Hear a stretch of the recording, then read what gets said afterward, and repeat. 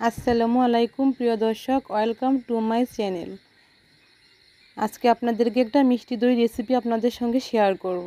নিয়ে চলে আসলাম আপনাদের জন্য একটা মিষ্টি দই রেসিপি তার জন্য আমি এখানে আগে দু চামচ চিনি দিয়েছিলাম। মনে হয় চিনি আমার আরও দু চামচ লাগবে। তাই আমি এখানে টোটাল চার চামচ চিনি ব্যবহার করেছি।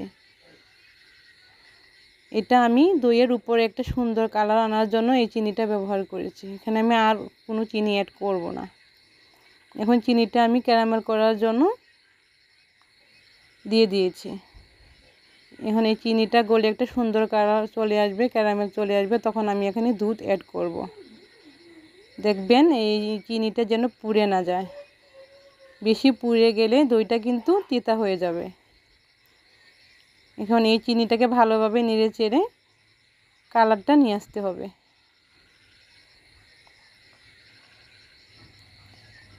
আমার ক্যারামেলের কালারটা প্রায় হয়ে এসেছে। এখন আমি এখানে দুধ অ্যাড করব। আমি আপনাদেরকে হাফ লিটার দুধ দিয়ে হাফ লিটার দই করে দেখাবো। এবং টিপস সহ আপনাদেরকে এই দই রেসিপিটা শেয়ার করব। আমার এই দই রেসিপিটা ভালো লাগলে প্লিজ লাইক কমেন্ট এবং শেয়ার করবেন। দেখেন, এটা হচ্ছে ছয়শো গ্রামের বোতল। আর এখানে আমার হাফ লিটার দুধ আছে। এখন এই দুধটা আমি এই ক্যারামেলটার মধ্যে দিয়ে দেব। তাহলে আমার বাড়তি কোনো পাতিল আর ব্যবহার করা দরকার পড়ল না। আমি একই পাতিলে ক্যারামেলটা তৈরি করে দুধটা ঢেলে দিলাম। এখন এই দুধটা জাল দিয়ে আমি চার ভাগের এক ভাগ কমিয়ে নেব। আর আমার দইটা বসাতে লাগবে টক দই। আমি আসলে হাফ কাপ টক দই আগেই হচ্ছে একটা প্লেটের মধ্যে রেখে দিয়েছিলাম। ওটা আমি পানিটা ঝরিয়ে নিইনি। আমি এটা আসলে টক মিষ্টি দই তৈরি করব। মানে খুব টক বা খুব মিষ্টি হবে না, ওই দইটা তৈরি করব। এটা হচ্ছে আমার টক দই। আমি এটার পানিটা ঝরাইনি, আমি এইভাবেই দেব। আমার দুধটা জাল করা হয়ে গেছে। এখন আমি একটা আঙুল চুবিয়ে দেখছি, দুধটা এখন হালকা গরম আছে, হালকা কুসুম গরম। এটা কিন্তু খুবই ইম্পর্টেন্ট এখন আমি একটা মিক্সারের সাহায্যে খুব ভালোভাবে মিক্স করে নেব। দই বসানোর প্রথম নাম্বার, এক নাম্বার টিপস হচ্ছে দইটা মানে জাল করা দুধটা খুবই হালকা গরম থাকতে হবে। হালকা গরম অবস্থায় আপনারা টক দইটা মিশাবেন।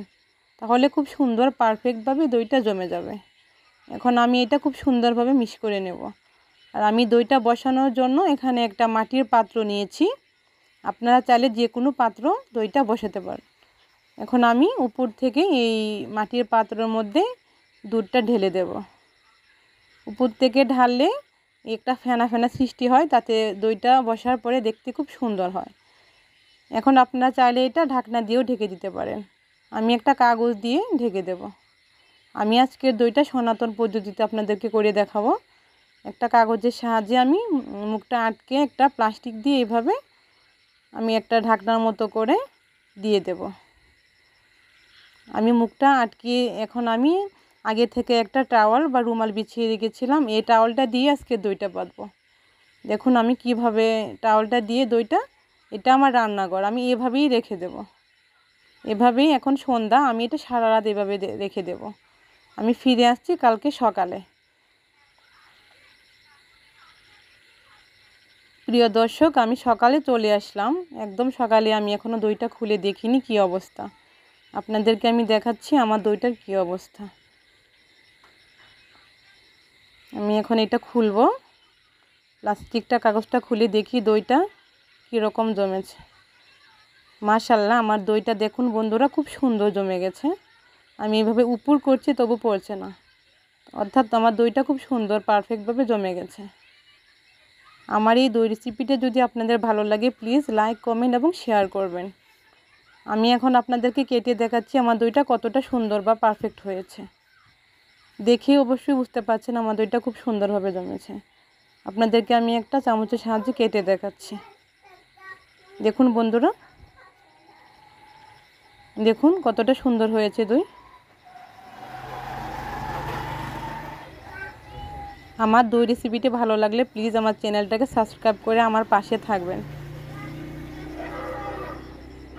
আমার দই রেসিপিটি দেখার জন্য আপনাদের সবাইকে আন্তরিক শুভেচ্ছা এবং ধন্যবাদ।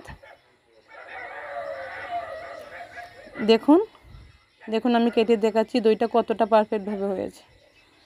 আমাদের, আমার এই দই রেসিপিটা দেখার জন্য আপনাদেরকে অসংখ্য ধন্যবাদ বন্ধুরা।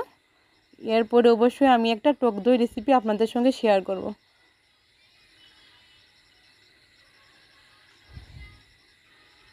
সেই পর্যন্ত সবাই ভালো থাকবেন, সুস্থ থাকবেন। আল্লাহ হাফেজ।